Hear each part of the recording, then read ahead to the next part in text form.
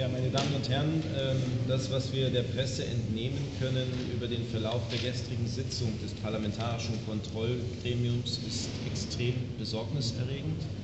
Es zeigt, wenn sich die Nachrichten bewahrheiten sollten, eines, dass der Umgang mit Selektoren, gleich welcher Herkunft, in den Reihen des Bundesnachrichtendienstes mit allem anderen behandelt wurde als mit Sorgfalt. Ähm, zwei Jahre nachdem Snowden-Veröffentlichungen uns erreicht haben, zwei Jahre nachdem die Bundeskanzlerin gesagt hat, ähm, Ausspähen unter Freunden, das geht gar nicht, und zwei Jahre nachdem angeblich der amtierende Präsident klare Weisungen in sein Haus erteilt hat, dass keine rechtswidrigen und interessenswidrigen Selektoren zu verwenden sind, kommt jetzt die Nachricht erneut auf den Tisch, dass angeblich in einem BND-Profil äh, interessenwidrige Selektoren, Suchbegriffe, E-Mails, Telefonnummern verwendet worden sind.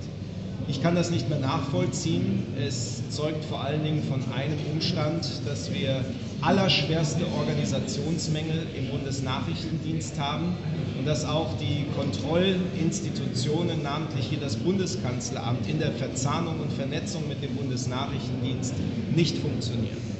Ähm, das sind sehr schwerwiegende Vorfälle und äh, es wirft ein Licht, ein schlechtes Licht auf viele Aussagen von Zeugen, die wir bereits im Untersuchungsausschuss hatten. Und es zeigt in der Tat eines sehr deutlich, dass das berühmte Zitat der Kanzlerin, das Ausspähen unter Freuden gar nicht ginge, dass das tatsächlich auch vom BND selbst nicht gelebt wird, dass auch der BND hier Spionage nach seinen Möglichkeiten und nach seinen Fähigkeiten betreibt und dort nicht zwischen Freund, Partner und Feind unterscheidet. Das ist ein Denken aus Zeiten des Alten Krieges und es zeigt vor allen Dingen eines sehr deutlich, dass wir nicht lange in diesem Untersuchungsausschuss warten sollten, bis wir einen 1000 Seiten starken Abschlussbericht schreiben am Ende der Legislaturperiode. Die SPD-Fraktion hat klare Vorstellungen vorgelegt, was jetzt gesetzgeberisch zu tun ist. Wir müssen eine grundlegende Struktur des BND-Gesetzes vornehmen. Wir müssen Dinge, die bisher im Graubereich operieren äh, und gehandhabt werden, wie zum Beispiel die gesamte Auslands-Auslandsüberwachung, die müssen endlich rechtsstaatlich geregelt werden mit klaren Rechtsgrundlagen. Und wir müssen dafür sorgen, dass es im BND, insbesondere beim Einsatz von Selektoren in diesem Bereich, keine kontrollfreien Räume mehr gibt. Nur diese Umstände, dieser Wildwuchs, dieses Organisationsversagen der letzten Jahre haben dazu geführt, dass all diese Probleme jetzt mit Wucht auf unseren Tisch schlagen. Das ist ein Zustand, den kann man nicht mehr länger tolerieren. Und es ist jetzt die Aufgabe des Bundeskanzleramtes, namentlich des Bundeskanzleramtes, endlich grundlegende Reformvorschläge vorzulegen, die über eine bloße kosmetische Maßnahme hinausgehen. Da werden wir als SPD-Fraktion nicht mitmachen, denn das, was sich jetzt hier zeigt, sind ganz schwerwiegende Vorwürfe.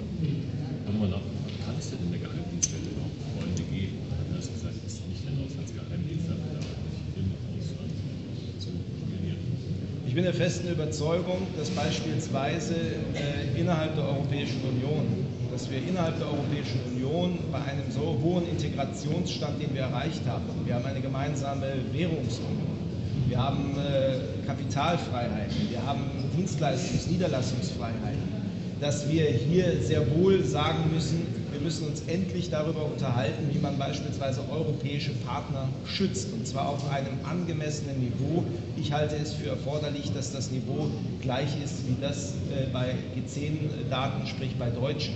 Ähm, ich weiß sehr wohl, dass wenn wir so etwas tun würden, dass das zunächst einmal auch äh, innerhalb Europas ein Alleingang ist, was aber daran liegt, dass die gesamte Geheimdienstwelt nicht nur in Deutschland seit vielen Jahrzehnten äh, im Dunkeln arbeitet und äh, eben diese ganzen Themen bisher nicht wirklich offen diskutiert worden sind.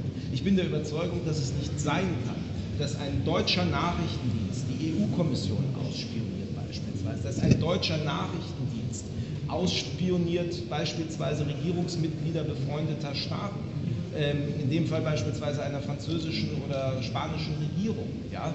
Ähm, ich glaube auch, dass das nicht Gegenstand des Auftragsprofils der, des, äh, der Bundesregierung ist. Und allein dieser Umstand zeigt deutlich, dass man sich hier nicht nur in einem Graubereich befindet, sondern dass man hier wirklich teilweise wahrscheinlich schon auch die Grenze zum Rechtswidrigen überschritten hat.